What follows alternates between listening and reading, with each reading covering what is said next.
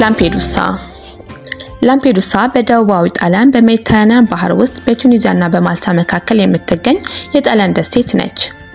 የላምፔዱሳ ትልቁ ርዝመት 7 ማይል ወይም 11 ኪሎ ሜትር ሆኖ ትልቁ ስፋት ደግሞ 2 ማይል ወይም 3 ኪሎ ሜትር ነው። ከባህር ጠለል በላይ ደግሞ ወደ 466 ጫማ ወይም 133 ሜትር ከፍ ይላል።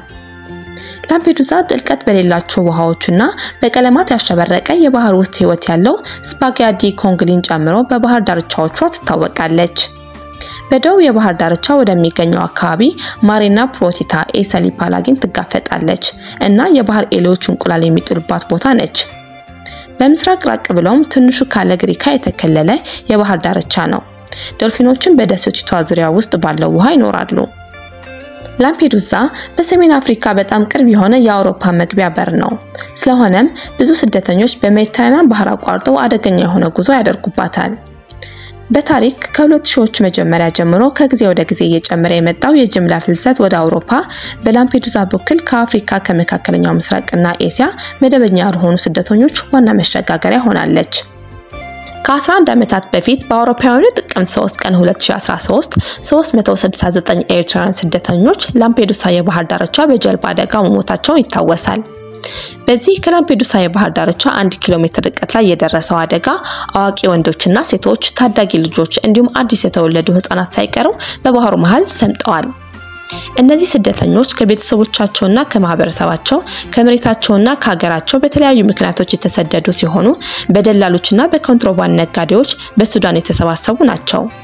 ብዛታቸውም ከአምስት መቶ በላይ እንደነበረና በሰሐራ ጉዞ ብዙ ችግር ውስጥ ገብተው በአጭር ሙከራ ባህር ተሻግረው ወደ አውሮፓ በመድረስ ህይወታቸውን ለመለወጥ በማሰብ እንደተሳፈሩም ይነገራል።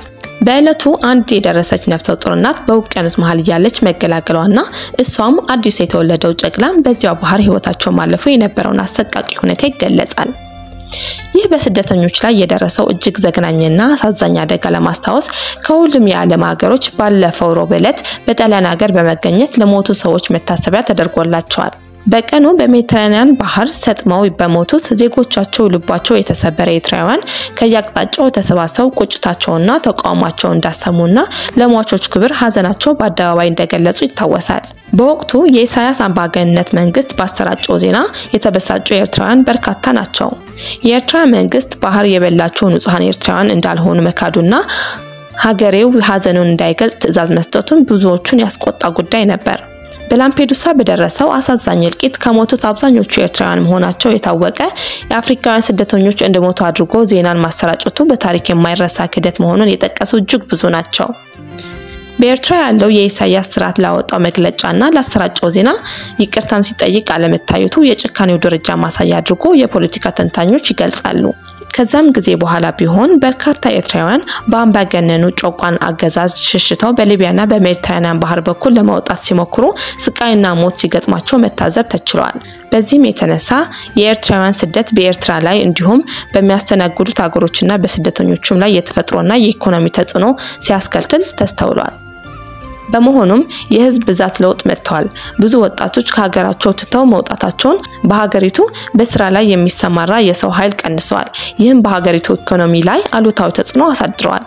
በተጨማሪም እውቀትና ችሎታ ያላቸው ሰዎች ከሀገራቸው ስለሸሹ በጤና በትምህርትና ቴክኖሎጂ የመሳሰሉ ዘርፎች ላይ ችግር ታይተዋል። ብዙ ቤተሰቦች እንደተለያዩና ትዳራቸው እንደፈረሰ ምክንያት ሆኗል። ይህም ማህበራዊ ጭንቀትና ተጽዕኖ ያስከትላል። ኤርትራና ኤርትራውያን ከሌሎች ሀገሮች ጋር ያላቸውን ግንኙነት እንዲሻክርና የደህንነት ስጋት እንዲሰማቸው ያደርጋል። በአጠቃላይ ሲታይ የሀገሪቱ ማህበራዊ ኢኮኖሚያዊና ፖለቲካዊ እንቅስቃሴዎች ወደ ኋላ ተጎድተዋል። በማህበረሰቡም ስለ ልቦናዊ ጫና ደርሰዋል። ስደቱም እስካሁን አላበቃም። ስርዓቱን በትግል ተፋልመን አንድነታችንን አጠናክረን ንቃተ ህሊናችንን ከፍ አድርገን የስርዓቱን ፍጻሜ ማፋጠን የሁላችንም ኃላፊነት ነው። ስለዚህ ኃላፊነታችንን በመወጣት በስርዓቱ ጫናና መራራ ትግል በሚካሄደው ወደፊት እንድንመራና ጊዜውን ይጠይቀናል።